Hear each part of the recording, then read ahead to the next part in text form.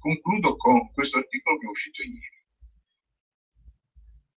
Questo è un articolo molto importante, uscito su Nature, che è la più importante rivista che, eh, diciamo di scienza, ed è una cosa molto importante, cioè è stato finalmente visto che non è vero che il cervello è segregato dal punto di vista immunitario perché non ha il sistema linfatico che hanno tutti gli altri organi, ce l'ha anche lui. E come che ce l'ha? E sapete dove ce l'ha? Ce l'ha attaccato proprio a quelle vene del seno, seni petrosi, i seni trasversi, che abbiamo visto che hanno la pressione alta quando la giugulare non funziona bene.